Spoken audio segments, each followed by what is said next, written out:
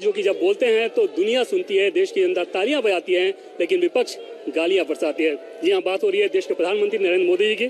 Sir, विपक्षी जिस प्रकार से गालियाँ दे रहे हैं मणिशंकर अय्यर एक बार फिर से 2017 के बयान को रिट्रेट कर रहे हैं। खड़गे साहब फांसी की बात करते हैं, पूरी गालियों की डिक्शनरी है, दुनिया में सम्मान मिलता है। इन दोनों परिस्थितियों को कैसे देखते हैं? कोई गुस्सा आता है कभी? मैं सबसे पहले इंडिया टीवी के दर्शकों का आभार व्यक्त करता हूँ, इंडिया टीवी का आभार व्यक्त करता हूँ।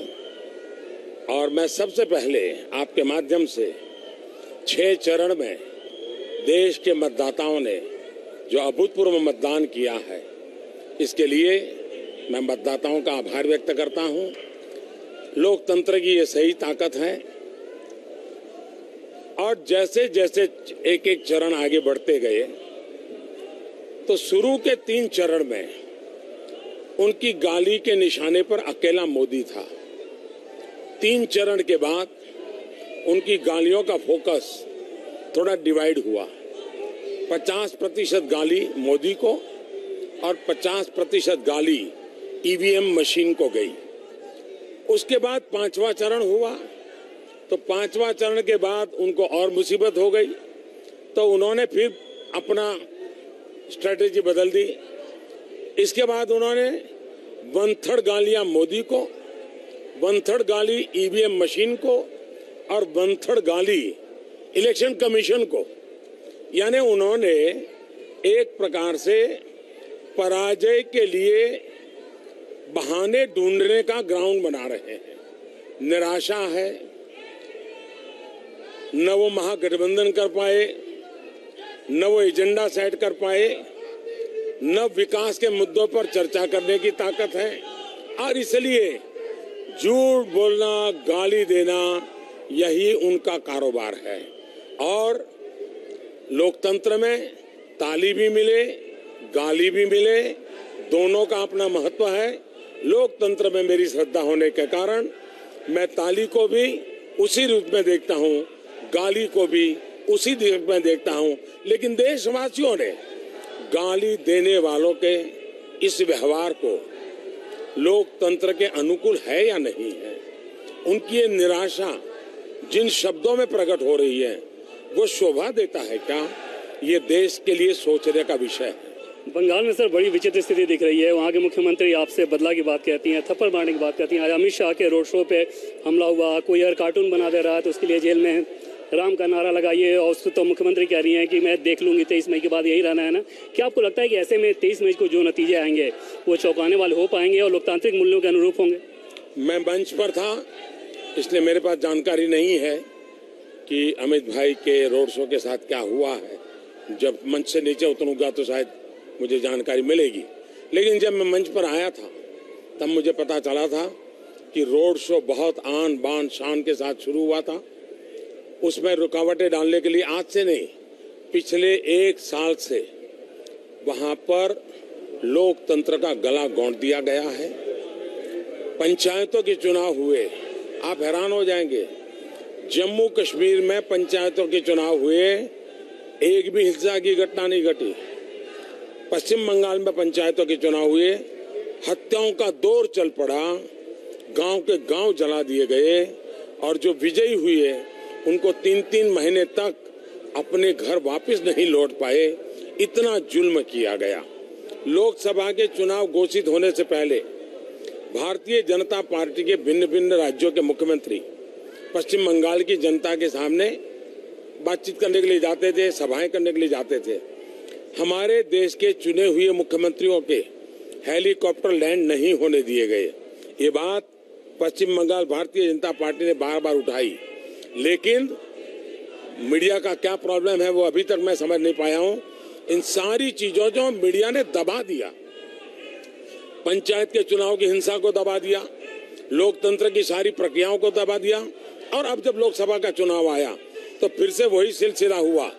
जब तक ये टीएमसी के लोगों ने, ममता के साथियों ने, निराशा की गर्त में डूबने के कारण पराजय सामने देखने के कारण गुस्से में आकर पिछले तीन चार पाँच दिन से मीडिया को मारना शुरू किया।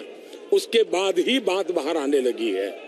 और सवाल बीजेपी का और टीएमसी का नहीं है। सवाल भारत सरकार और बंगाल सरकार का नहीं है। ये पूरा मसला बंगाल की जनता और बंगाल की सरकार के बीच का है। बंगाल की जनता बंगाल सरकार के रवैये से नाराज़ है, उसके जुल्म से नाराज़ है, और लोकतांत्रिक तरीके से वो अपना फैसला सुनाना चाहती है। उसको रोकने का टीएमसी का एक प्रयास है। देश में एक व्यापक चर्चा होना बहुत ज़रूरी है कि क्या फेडरल स्ट्रक्चर का इस प्रकार से मज़ाक उड़ा दिया जाएगा? क्या आपने इस प्रकार के वीम के आधार पर भारत के संविधान को टुकड़े टुकड़े कर दिए जाएँगे? ये बहुत बड़ी चिंता का विषय है। मुद्दा केंद्र सरकार राज्य सरकार का नहीं है। कृपा करके उसको उस दिशा में ले जा करके ममता दीदी को बचाने का पाप मत कीजिए। सर पाँच साल पहले जो पॉलिटिकल नैरेटिव चलता था उसमें तुष्टिकरण टोपी और स्टार पार्टी इन सब चीज़ों की ज़्यादा चर्चा होती थी। अब सब कोई अपना गोत्र बता रहा है जनेऊ दिखा रहे हैं मंदिर जा रहे हैं। क्या आपको सेटिस्फैक्शन है इस बात का कि आप सबका साथ सबका विकास का जो मंत्र देते हैं पॉलिटिकल नैरेटिव को वहाँ पे लेके आए? कोई श्रद्धा पूर्वक अपने अपने इष्ट देवताओं की पूजा करे, आस्था रखे, उसमें कुछ भी गलत नहीं है। और न ही मैं इसकी आलोचना करता हूँ। लेकिन सीजनल अगर कारोबार होता है कि चुनाव आए तो उसके कुछ समय पहले करना, यहाँ पर चुनाव है तो ये मंदिर जाना, यहाँ पर चुनाव तो यहाँ जाना, ये चीज़ें अब देश की जनता इससे मूर्ख नहीं बनती है। पहले जिन्होंने खेल खेला खेला मैं समझता हूँ ड्रामेबाजी से देश चलता नहीं है।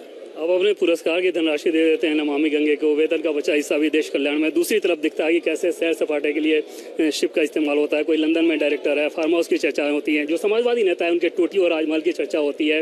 और बंगाल में भी वैसा ही मामला दिखता है, नारदा श्रादा का। क्या आपको लगता है कि ये फ़र्क तेईस मई को नतीजे में दिखेगा? जनता तक ये बात पहुँच पाई है, ठीक से? हिंदुस्तान की जनता बहुत दूर का देखती है। हिंदुस्तान की जनता के पास इंफॉर्मेशन के अब अनेक चैनल्स हो गए हैं। बहुत रास्ते हो गए हैं। वो पहले की तरह लुटियन मीडिया जो परोसे उसी के भरोसे उसकी ज़िंदगी नहीं है। अब उसको दूध का दूध और पानी का पानी पूरी तरह समझ आता है और उसी के कारण ये कभी 400 पर से 40 पर आ गए हैं।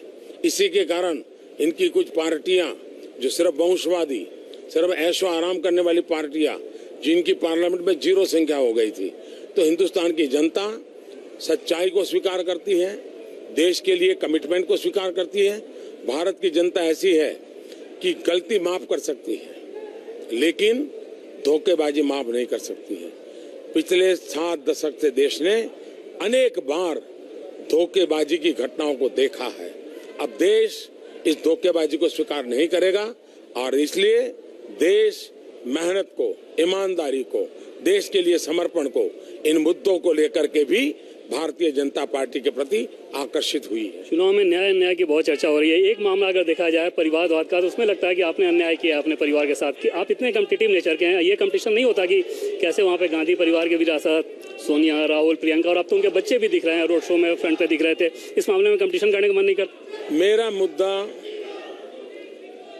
किसका परिवार क्या करता है वो है ही नहीं। मुझे तो बाबा साहब आम्बेडकर ने जो कहा था वो मुझे आज भी सही लगता है। बाबा साहब आम्बेडकर ने कहा था और बहुत पढ़ने जैसा है। उन्होंने कहा था, लोकतंत्र के ऊपर सबसे बड़ा खतरा जो है, वो वंशवाद का है, परिवारवाद का है। तो लोकतंत्र में आस्था रखने वालों ने वंशवाद, परिवारवाद से लोकतंत्र को बचाने के लिए जागरूक रहना पड़ेगा। ये बाबा साहब आम्बेडकर का संदेश है। जहाँ तक मेरा सवाल है मैंने जो रास्ता चुना है, वो मेरा रास्ता है। मैं नहीं चाहता हूँ कि मेरे रास्ते पर सब चले। ये तो लोकतंत्र हो नहीं सकता। लेकिन जो जो रास्ते पर जो जो लोग चलते हैं, देश उनको सत्य और ईमानदारी के तराजू पर तोले। क्या वो वंशवाद वाला रास्ता सही है कि मोदी का समर्पण वाला रास्ता सही है? देश तय करे। मैं अपने आप को कोई सर्टिफिकेट देने के लिए खुद को योग्य नहीं मानता। 2014 में सब जब बनारस गए थे तो आपका नाम था और गुजरात मॉडल था। पिछले पाँच सालों में बनारस में जो विकास हुआ कहा यह भी आता है अतिशक्ति नहीं होगी ऐसा कहने में कि आप आँख बंद कर लें तब भी काम दिखेगा। बाहर निकलिए तो फ्लाईओवर शानदार घाट और हेल्थ का शिल्पकारों के लिए काम। क्या आपको लगता है कि ये वाराणसी मॉडल जात और धर्म का बंधन तोड़ेगा और यूपी में वैसा ही असर दिखेगा इसमें? सवाल ये है कि स्वस्थ लोकतंत्र के लिए जातिवाद भाषावाद प्रांतवाद, संप्रदायवाद, ये जितने डाइल्यूट हो, उतना लोकतंत्र मज़बूत होगा। जातिवाद खत्म होता है तो अच्छी चीज़ है। लेकिन कुछ लोगों को उससे परेशानी हो रही है कि आजकल जातिवाद खत्म हो रहा है। ये और वो भी अपने आप को बड़ा विद्वान बनाने वाले, मानने वाले लोग लेख लिख रहे हैं। ये तो बड़े दुर्भाग्य की बात है। जहाँ तक मॉडल का सवाल है, मैं मानता हूँ कि हर शहर का अपना मॉडल होता है। बनारस का मॉडल चंडीगढ़ में फिट करना उचित नहीं होगा। चंडीगढ़ का मॉडल रोहतक में फिट करना उचित नहीं होगा। हर शहर की अपनी विशेषता होती है।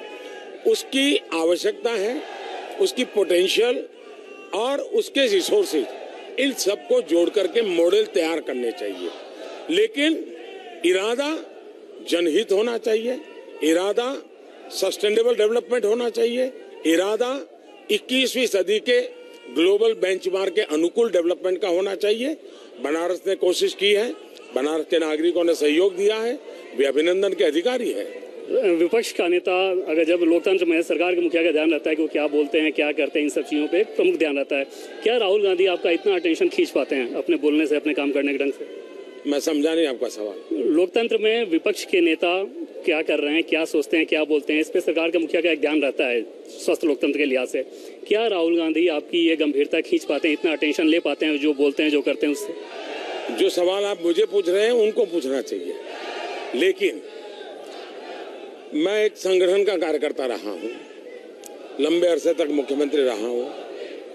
दूर दूर से भी कोई आवाज़ सुनाई देती है। तो सरकार के रूप में हर आवाज़ को गंभीर लेना चाहिए। और लोकतंत्र में सरकार की जिम्मेवारी है। किसी, मेरा तो नियम था गुजरात में कि किसी अखबार में कहीं मानो रोड पर गड्ढे का फ़ोटो आया तो मैं अखबार को गाली नहीं देता था। मैं डिपार्टमेंट को कहता था अखबार वाले का अभिनंदन करो, वो गड्ढा खोज करके ले आया, अब अपना काम है गड्ढा पूरा करो।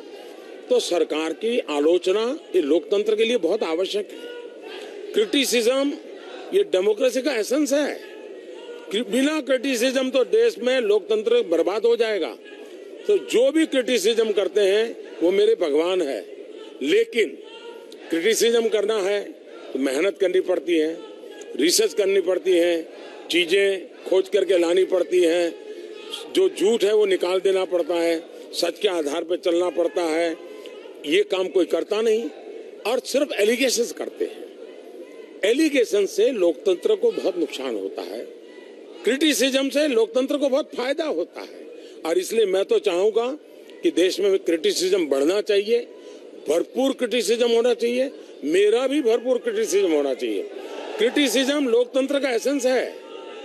आखिर में सवाल, तेईस मई को कैसे नतीजे देख रहे हैं? दो संदर्भ में, एक तो उत्तर प्रदेश, बंगाल, उड़ीसा। क्या ये आपको नतीजे मनमाफिक देंगे? और क्योंकि बहुत सारे पॉलिटिकल पंडित का ये कहना है कि क्योंकि पिछली बार ही बहुत सारे स्टेट में सिचुएशन पॉइंट आ गया था तो एक तर्क देते हैं कि वहाँ पे कमी आ सकती है। क्योंकि आपका जनता के साथ सीधा संपर्क है, पूरे देश भर में घूम रहे हैं। क्या आपको लगता है कि नतीजे बहुमत के पिछली बार के हिसाब से आएँगे? और दूसरी चीज़ कि मैंडेट में आंकड़ों के हिसाब से ज़रूरत पड़े या ना?